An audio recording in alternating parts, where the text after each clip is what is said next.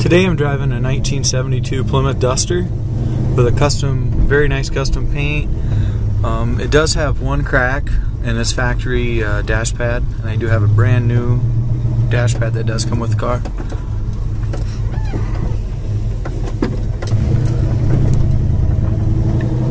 Um, it's powered by 318, runs excellent.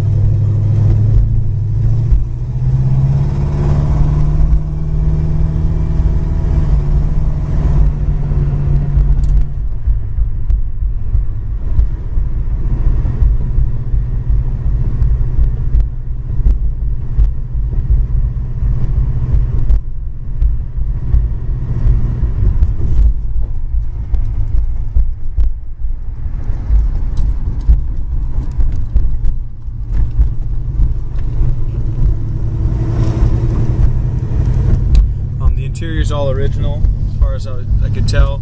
Previous owner had said that the 32,000 miles were original, but we can't document that. We don't know for sure. Um, paint and body's real nice on it, and uh, floors and frame and everything is extremely solid, original.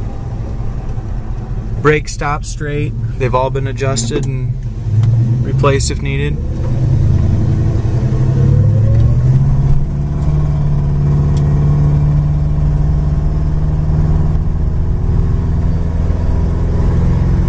Suspension, steering goes down the road real nice. Shifts nice.